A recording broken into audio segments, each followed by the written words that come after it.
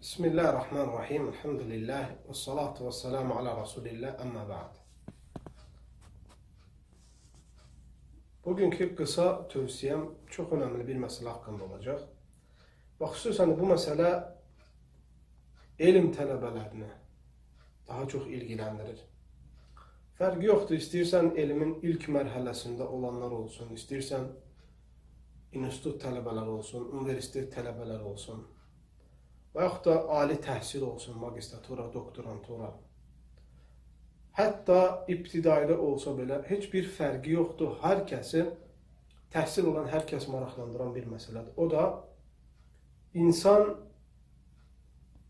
materialı, öyrənmək istədiyi maddələri hansı üslubu istifadə etsə daha tez əzbərləyər, daha hafizəsində yaxşı qalar. Hansı üslublardan istifadə etmək lazımdır? Əzbər üçün əzbər həyatda çox önəmlidir. Çünki həyatda insan oxuduqları çox şey ola bilər. Çox informasiya ola bilər oxumaq üçün. Xüsusən də e, şəriət oxuyan adamlar şəri e, məsələlər üzrə, ixtisaslar üzrə yazılmış bir çox kitablarla, fənlərlə qarşılaşa bilər. Məsələn, bölünübdür şəriətdə məsələ Quran-ı Kərim elmi. Ora daxildir e, lüğət elmləri, nəhvdir, sarfdır, e, bəlağətdir.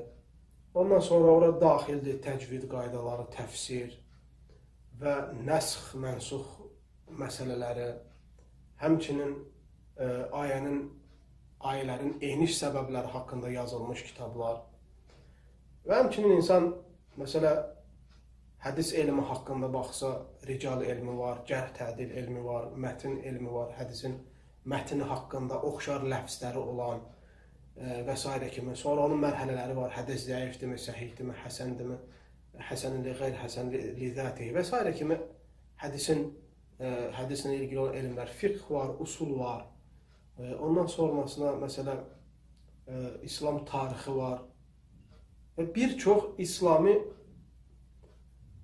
elmlər var. İnsan hamısından qarşılaşa bilər. Ümumiyyətlə dünyavi elmlər də elədir. İstərsən tibb olsun, həndəsə olsun və yaxud da başqa təcrübə ilə öyrənilmiş elmlər olsun, fərqi yoxdur. Ümumiyyətlə təhsil alan insan çox informasiyalarla qarşılaşır, çox kitablar oxuyur, məlumatlar oxuyur Bunların hamısını da tez unudub gedir. İnsana qalan oxuduqlarından əzbərlədiyi və onu əməli olaraq tətbiq etdiyi şeylərdir.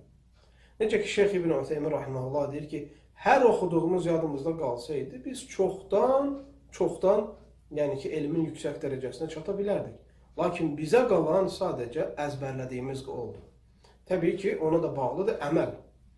Ona görə e, Tövsiyəm xüsusən də şəri elmləri əzbərləmək istəyən qardaşlaradır. İstərsən elmi mətnlər olsun, tövhidlə ilgili və yaxud da usulla ilgili və yaxud da lüğətlə ilgili nə olursa olsun, əgər əzbərləmək istəyirsinizsə, başda Quran-ı Kərim olmaq ə, şərti ilə bir neçə qaydaya fikir verməniz mütləq lazımdır. Təbii ki, Quran-ı Kərim əzbər məsələsi fərqlidir şəri elmləri əzbər məsələlərindən. Öncə demək istədiyim odur ki, şəri elmləri hansı fənn olursa olsun necə daha yaxşı yadında saxlaya bilərsən. Hər hansı bir kitabı götürdünsə, birinci birinci ixtisası seç. Məsələn, tutaq ki, misal üçün Kitab-ı Təvhidi oxuyursan. Kitab-ı Təvhidi məsələ e, şərhi ilə oxuyursan, məsələn, Qavlül Mufid, Şeyx İbn Ütheyminin şərhi ilə oxuyursan. Qavlül Mufid, şərh kitab-ı təvhid. Və yaxud da Teysir-ül Aziz-ül Həmid oxuyursan və yaxud da Fəthül Məcid oxuyursan, fərqi yoxdur. Hansı şərh kitab-ı təvhid. Əgər içində kitabın olduğu məzmunları yadında saxlamaq istəyirsənsə, birinci baxırsan həmən şərhin xülasə mətni varmı? Əzbərləmək üçün elm əhli onun mətn formasına gətiribdir. Varsa, öncə onun mətnini əzbərləməyə çalış, şərhinə keçməməzdən qabaq. Əgər bu alınmırsa, olmursa, sadəcə daha geniş şəkildə məsələləri yadında saxlamaq istəyirsənsə, onda bu uslubu eləyirsən. Birincisi, kitabı anlasan da tam olaraq %100 anlamasan da kitabı başdan sona qədər oxumağa çalış.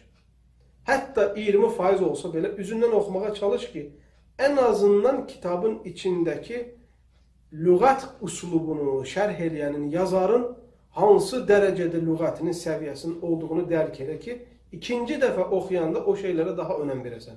Deməli, ilk dəfə kitabı tam anlasan da, anlamasan da oxuyub sona çıx.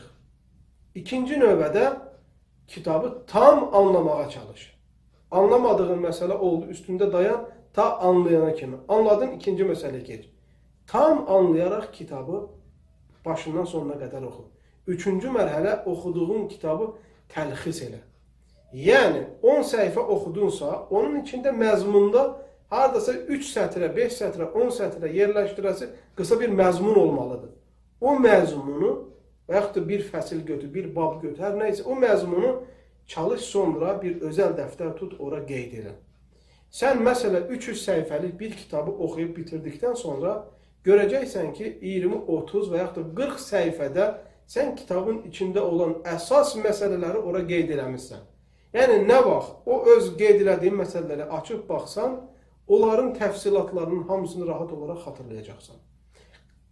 Əsas təlxisdə nələrdən istifadə edəcəksən? Sözlərin istilahi mənalarını qeyd edəcəksən. Məsələlərdə bölmələr, təqsimatlar varsa, onları qeyd edəcəksən. Məsələlərdə müxtəlif rəylər varsa, məsələdə ixtilafın olduğu, neçə rəyin olduğu və xülasə olaraq ən doğru məsələ hansıdır və onun dəlili nədir? Qısa olaraq qeyd edəcəksən. 10, 10, 10 səhifədə şərh olunan məsələləri xülasələşdirib anladığın kimi bir neçə sətirdə yerləşdirəcəksən. Beləliklə bu üç üslubu tətbiq eləyərsənsə, ümumiyyətlə təhsil məqamında sənin sinə dəftər olmağın inşallah çox ehtimaldır. Yəni hər hansı bir üstündən uzun müddətdə keçsə, şəri məsələlər haqqında soruşduğun zaman, izah elədiyin zaman, danışdığın zaman əlində qələm dəftər gəzdirməyə ehtiyacın qalmayacaq. Çünki oxuduğun şey ixlasla bərabər olarsa, o artıq sənin qəlbinə yazılmış olur. Və rahat məsələlər, məsələləri müzakirə elədiyin zaman xatırlanma işin Allahın izindən asan olacaq. Bu ən mükəmməl üslublardan biridir. Quran-ı Kərimi əzbərləməyə gəldikdə isə xülasə olaraq ən mükəmməl üslub budur ki, öncə hər gün Quran əzbəri üçün vaxt ayırmağın şərtdir. Vaxt ayırırsan, o vaxtın içində, məsələ bir saat tutaq ki, və yarım səhifə, misal üçün adamın hafizəsindən hafizəsinə fərqi var. Məsələn, yarım səhifə, bir səhifə Quran əzbəri nəzərə alırsan. 10 ayə məsələ. 10 ayəni öncə üzündən səlsitlə yanlış olmadan oxuyası qədər sadəcə kitaba baxıb üzündən oxuyursan. Kitaba baxıb üzündən oxuyursan, kitaba baxıb üzünü oxuyursan. Məsələn, 10 dəfə üzündən oxuyursan, səlsit dəfə. 10 dəfə oxuduqdan sonra birinci ayəni yenə 10 dəfə oxuyursan. Ta kitaba baxıb, baxmadan əzbər deyə bilənə kimi. Əzbər deyə bildikdən sonra kitaba baxmadan əzbərlədiyin o ayəni məsələ 10 dəfə təkrarlayırsan. Sonra keçirsən ikinci ayəni eyni üslubla. Sonra hər iki ayəni bərabər şəkildə baxmadan 10 dəfə əzbər deyənə qədər e, təkrar edirsən. Sonra üçüncü ayəni, sonra hər üç ayəni 10 dəfə. Beləliklə bir səhifəni əzbərlədinsə, sonra növbəti səhifəyi əzbərlədikdən sonra əvvəl əzbərlədiyinlə növbəti əzbərlədiyin ikisini bərabər şəkildə bir neçə dəfə təkrar üzündən oxuduqdan sonra, əzbər dedikdən sonra, sonra üçüncü səhifəyə keçirsən. Bu tərtiblə sonra bir cüzü bitirdikdən sonra məsələ hər gün əzbərdən bir neçə gün, bir ay ərzində, 30 gün ərzində həmən cüzü gün ərzində təkrardan əzbərini deməyin mütləq lazımdır. Beləliklə bu üslubla Quran-ı Kərim əgər əzbərləyə bilərsənsə və yaxud da müəyyən bir miqdarını və əzbərlədiklərini xüsusən namazda oxuyarsansa, inşallah eyni zamanda, eyni zamanda şərhinə və təfsirini oxumağa həris olarsansa, inşallah beynində əzbərlədiyin Quran-ı Kərim sabit qalar və bunu gec unudarsan. Təbii ki, eyni zamanda insan tək özü özünə deyil, əzbərlədiklərini danışmaq üçün mütləq biri qarşısında olması daha yaxşıdır. Əgər bu üslubları əzbər aləmində, əzbər məsələlərində İnsan riayət edərsə, inşallah elmində muvaffaq olar. Allah Celle bizlərə istifadını etsin. Və sallallahu aleyhi ve sellem və bərik alə nəbiyyə Muhammed.